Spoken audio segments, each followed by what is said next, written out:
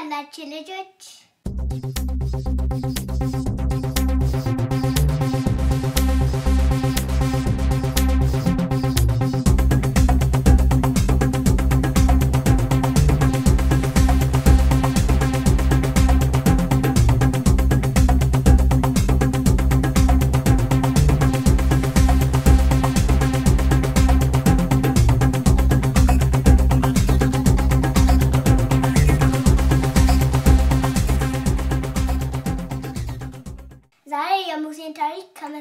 ቅዱስ አነብላችኋለሁ።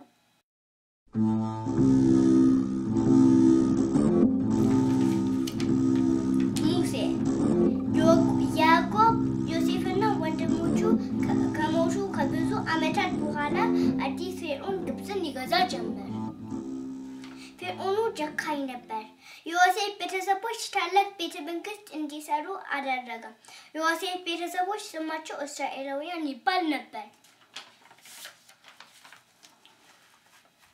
የፌርዖኑ እስራኤላውያን ፈርዖኑ እስራኤላውያን በቁጥራቸው በጣም ብዙ ሆኑ ብሎ አሰበ። ስለዚህ ወታደሮቹን ሂዱና የእስራኤላውያን ወንድ ሕፃናት በሙሉ ግደሏቸው ብሎ አዘዛቸው። አንዲት ሴት ግን ወንድ ልጇ እንዳይገደልበት በቅርጫት ውስጥ ጠበቀችው። ቅርጫቱንም በወንዝ ላይ እንዲንሳፈፍ አደረገች። የግብፅ ልዕልት የሆነችው የፌርዖኑ ሴት ልጅ በቅርጫት ውስጥ ያለውን ሕፃን አገኘችው። ስታየውም ሕፃኑን በጣም ወደደችው። ስለዚህ እስራኤላውያን ሕፃን ወደ ቤተ መንግስት ወሰደችው። ስሙንም ሙሴ አላችሁ። ሙሴ ካደገ በኋላ ከግብፅ ወጥቶ ወደ ሩቅ ሀገር ተሰደደ። በበረሃ በጎች በጎችን ይጠብቅ ጀመር። ኢትዮጵያዊት ሚስትም አገባ። ከዕለታት በአንድ ቀን ሙሴ ቁጥቋጦ በእሳት ሲነድ አየ። ሆኖም እሳቱ ቁጥቋጦውን አላቃጠለውም ነበር። ሙሴ የእግዚአብሔርን ድምፅ ከቁጥቋጦ ውስጥ ሰማ። ሙሴን ፈራ።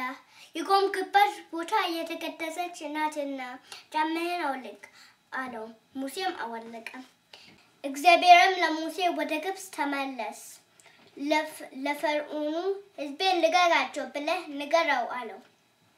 በዚህ መሰረት ሙሴና ወንድሙ አሮን ወደ ግብፅ ሄዱ። ለፈርዖኑም እግዚአብሔር ሕዝቤን ልቀቃቸው ብሎሃል አሉት። ፈርዖኑ ግን የእናንተን አምላክ እግዚአብሔርን አላቅም፣ የእናንተን ወገኖችን አለቅም አለ። እግዚአብሔርን በግብፅ ላይ ብዙ መዓት አመጣባቸው።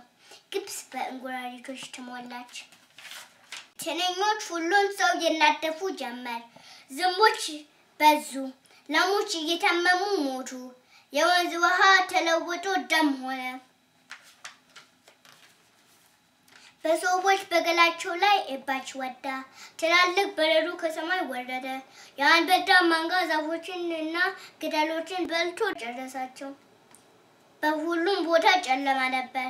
የግብፃውያን ሁሉ የበቁር ልጃቸው ሞቱባቸው። ከዚህ ሁሉ መዓት በኋላ በመጨረሻ ፈርዖኑ ከዚህ ሄዱ አላቸው።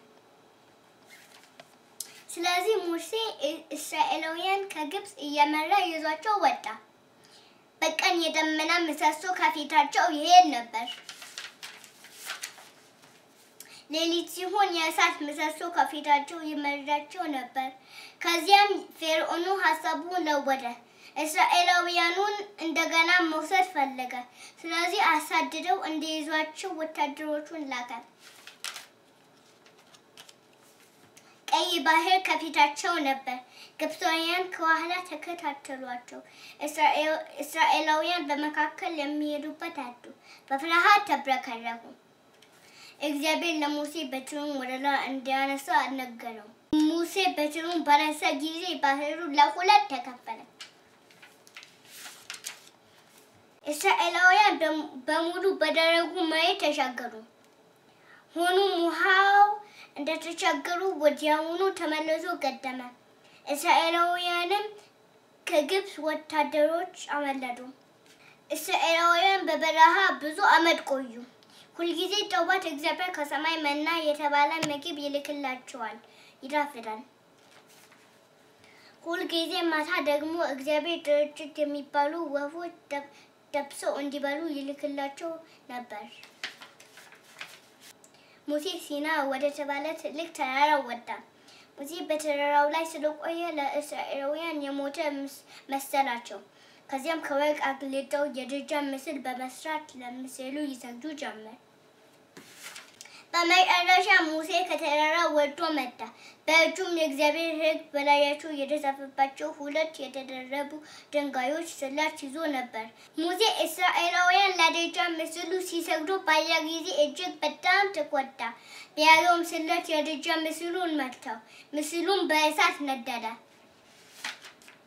እግዚአብሔር ለሙሴ ልዩ ድንኳን እንዲሰራ ነገረው። ድንኳኑ እስራኤላውያን ከእግዚአብሔር ጋር የሚገናኙበት ነው። ሙሴ ሕዝቡን እግዚአብሔር ተስፋ ወደ ሰጣቸው አገር እየመራ ወሰዳቸው። ከመግባታቸውን በፊት አገሩን የሚሰልሉ ሰዎች ላከ። ሁለት ሰዎች በርካታ የወይን ዘለላ ተሸክመው ተመለሱ። በጣም የሚያምር አገር ነው አሉ።